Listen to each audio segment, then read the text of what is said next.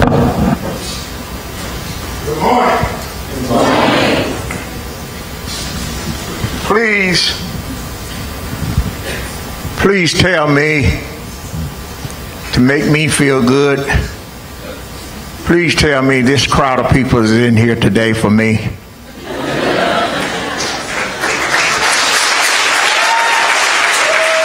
That's what I'm talking about. Amen. Look at somebody beside you and look at me now and tell them, I love you.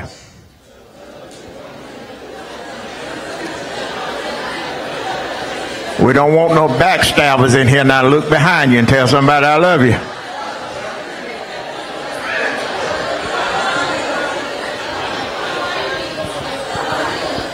Now we're ready to have some church.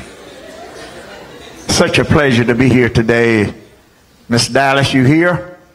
Your husband stopped by and told me to that he was going to send here today, send you here today, see what I can do with you. So we're going to work on you today, everybody. It's such a pleasure. Thank you, Mr. Corey Humphrey, for second time around.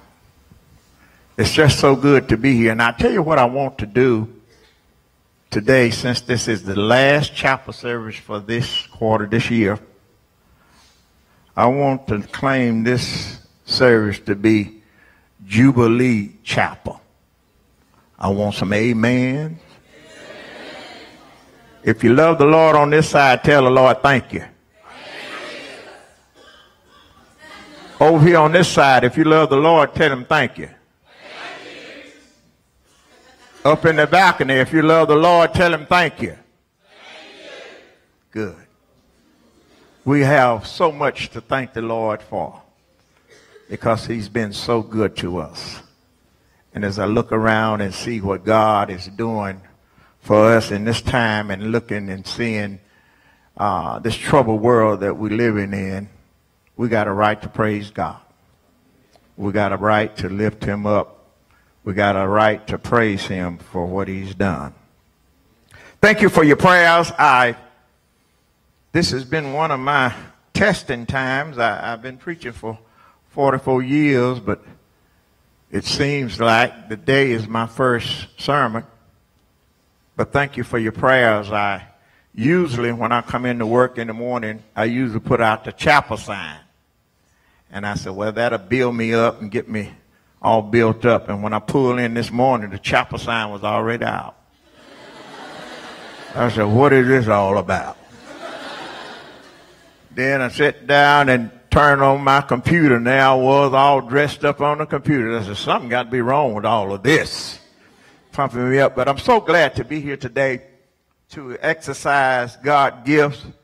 And thank you, uh, Ms. Talbert, for the interview you gave me. Uh, I've been called, get, getting calls from all over the place. And I told them I don't know when I will be leaving for Hollywood, but it would be in the next few days but I'm just glad to praise the Lord. I want to talk about today a lot of times because this is a Christian college. Y'all know that, right? You can say, man, a Christian college, a Christian environment, a Christian university committed to excellence in education. And when you come in this, on this college, when you come through that gate, I try to personify that to let you know that that's what we're all about. We're all about praising God. I, I don't know, uh, and I want to think so because of we haven't had that many problems on this hill. And I want to think it's because we love God and are, and are committed to Him. Amen? Amen? And that's what I think. And I believe in that. But there is a scripture that I've read it and I've been reading it. Josh, thank you. Josh came through the gate this morning and stopped, got my hand, and prayed for me. Now, all colleges doesn't do that.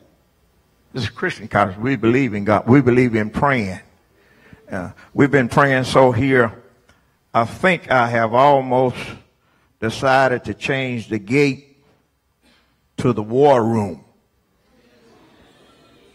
Y'all, y'all seen that picture? The war room. I, I have not took down all of, we got some paperwork down there on the wall, emergency alert alarm system, decal, uh, color guard, bi-weekly time sheets, names of phones and emails of faculties. We have trespassing warning signals. We have resident director. We have pictures down there of some folks that, you know. Uh, uh, uh, yeah, unfortunately, then we got a uniform policy code, and I had to be in my uniform this morning. And uh, but I've been wanting to do like to do in the war room. I've been wanting to put some of those prayer requests up, but I, I better not do that. Miss Paula might fire me for doing that. But I do have a few in there in the little bathroom I got. Amen. Pray for this one and pray for that one and pray for this family and pray for that family and pray for our college that God will be able to bless us. And I wanted to talk about a very important thing in First John chapter number 4, um, starting at verse number 7. It said, Beloved, let us love one another for love is of God. And everyone that loveth is born of God and knoweth God. He that loveth not knoweth not God, for God is love. In this manifestation, the love of God towards us, because that God sent his only begotten Son in the world that we might live through him. It's about love, y'all. Amen? It's about love. And he went on to talk to us there in that 20th verse, and, and, and I couldn't quite understand what was he talking about until I really looked into the depths of it. And it talks about how can you say you love God whom you've never seen and hate your brother whom you see daily? How can we do that? God is love.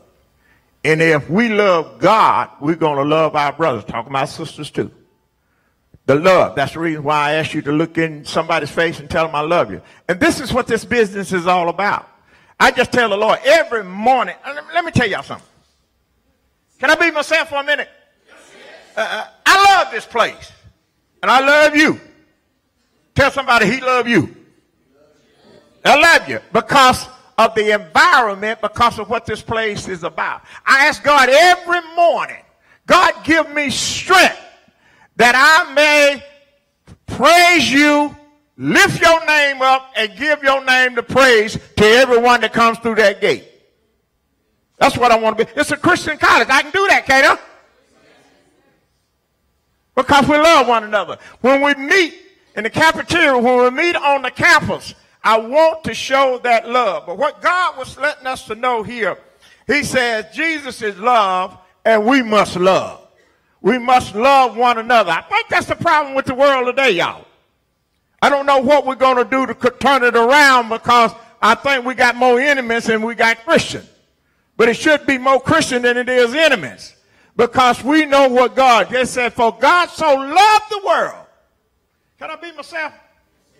I might holler a little bit. My, my daughter called me today and she said, Daddy, you make sure you pronounce all your words and all, because you get it happen sometime and you go to splitting stuff. it, it, it, and she said, you might go to blowing spit and stuff like that, you know. She, and she said, Daddy, be dignified. But it's something about Jesus that sometimes you just can't be dignified because he's been so good to me. He woke me up this morning. He started me on my way. He put running in my feet, clapping in my hand, and joy in my soul. We sing a song sometime, this joy I have, the world didn't give it to me.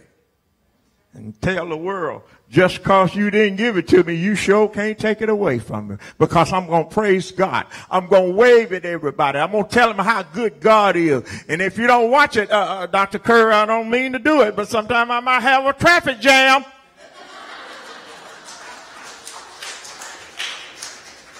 They might be boo boo blowing at me, but I'm talking about Jesus. And it's good God Almighty.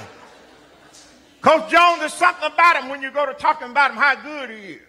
When I get up in the morning, I tell God how good he is. When I go to bed at night, I tell God how good he is to me and what he done for me.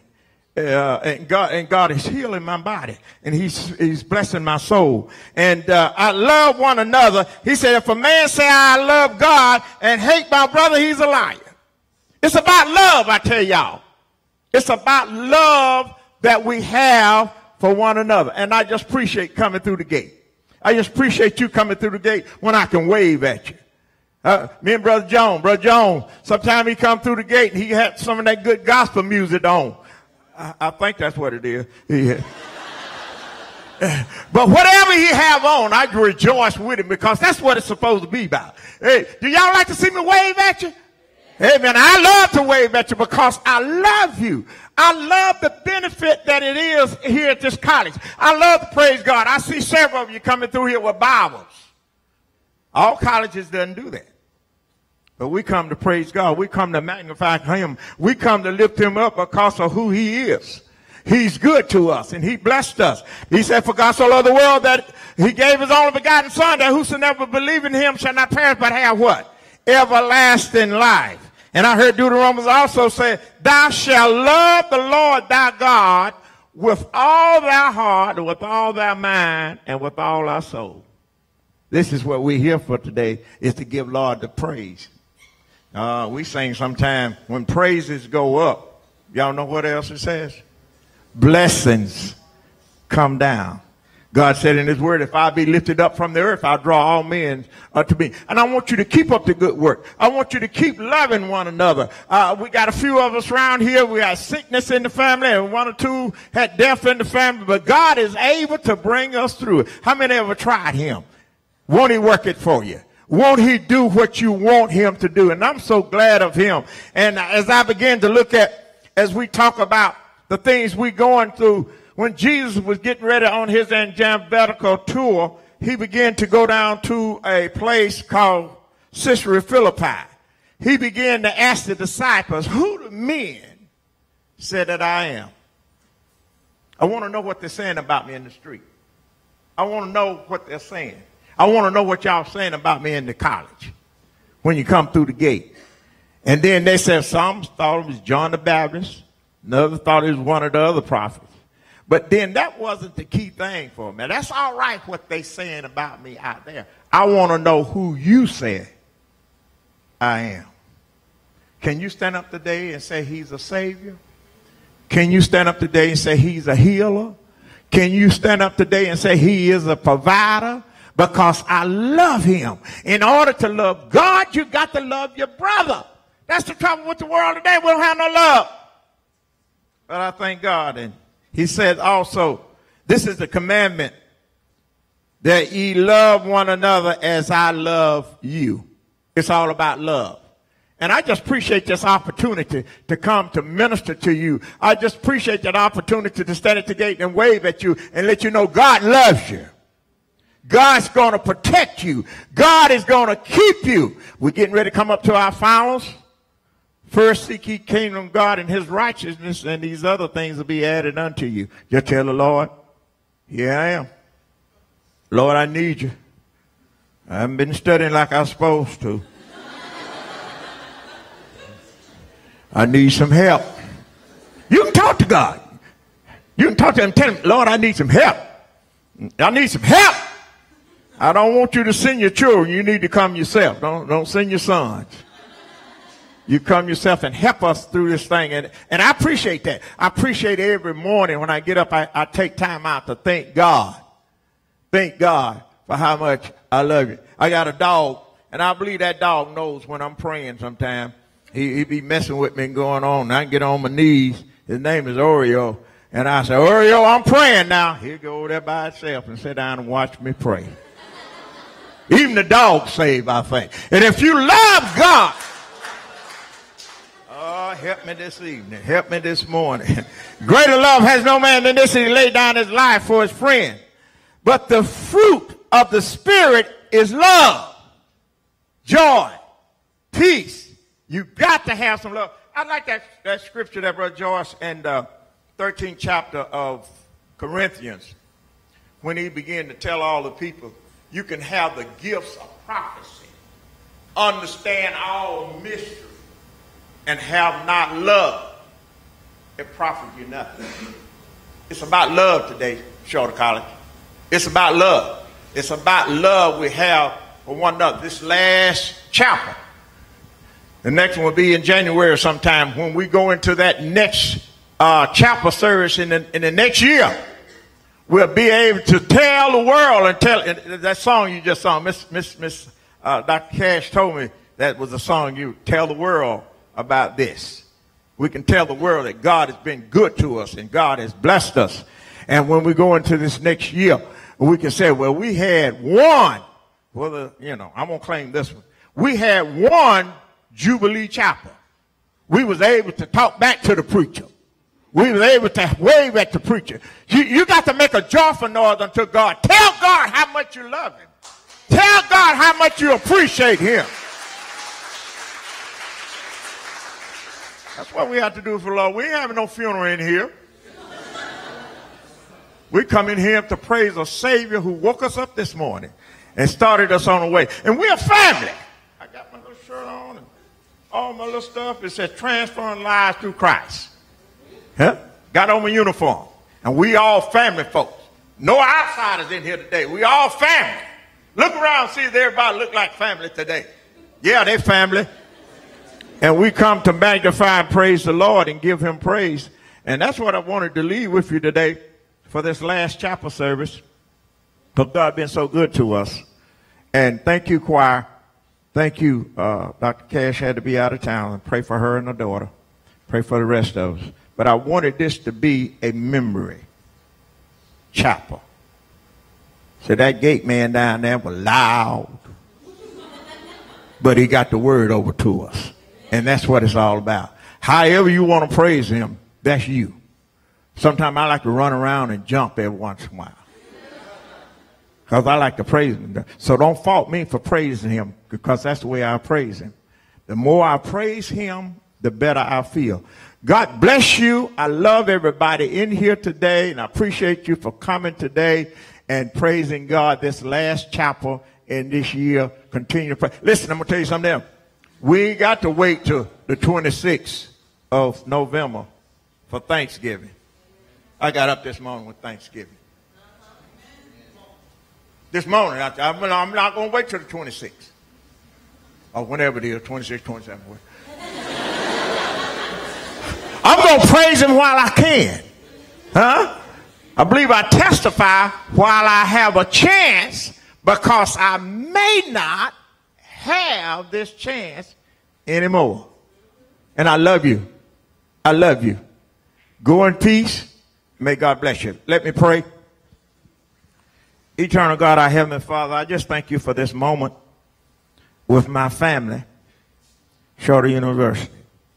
I thank you for my brothers and sisters in the Lord, Lord, and I thank you for the love that I have for this college. I love this job. I love this place. I love these people. And God continue to bless us and keep us. We've got finals coming up. Lord, help us. We want everybody to pass. We want everybody to be blessed. Lord, continue to bless us. Go with us throughout this day. We're going to need you throughout the day. understand a storm is coming in, but God, you are our protector. Protect us upon this hill, Lord. Continue to bless us. Look on the president, vice, and all the staff that make up this college, the students, campus safety. Continue to bless us. And God, we're going to hold to your unchanging hand because you know that you got a blessing for us. Lord, we'll forever give you the praise and honor in Jesus' name. I want everybody to repeat after me. Let the words of my mouth, the meditation of my heart be acceptable in thy sight. O Lord, our strength and our Redeemer. In Jesus' name, amen.